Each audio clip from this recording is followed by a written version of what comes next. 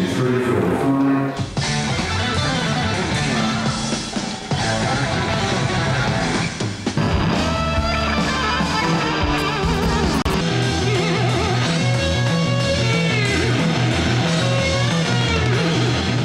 should, of course, say 40 years in hell working for Deep Purple.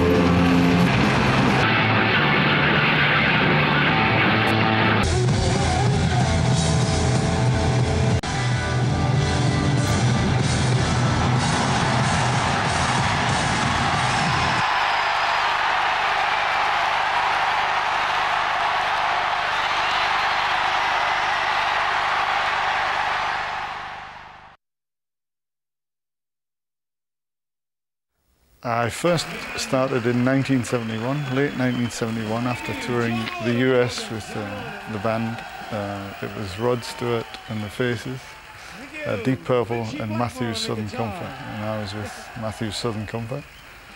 And after the tour, I was asked to join Deep Purple, and I jumped at the chance. So that was it, basically. I was along since then. It was certainly the best time for touring, from, in my opinion, from a, a, performer's and a personnel point of view. It was great for the crew. Uh, certainly the, the best times to, to actually tour. Now it seems like it's all business and politics. And, you know, um, it's all about money now. The whole atmosphere has changed. Um, not really, because that was like the best time to tour for most bands. Uh, it was a really exciting time. Every band in the world seemed to be out on the road, and uh, it was just, it just seemed right. You know, it was wonderful. It was a great time to tour. I was asked by Blackmore to come along, and uh, you know, it seemed like the end of Deep Purple to me. It was a, a sad time. So I decided to make the jump and move with him.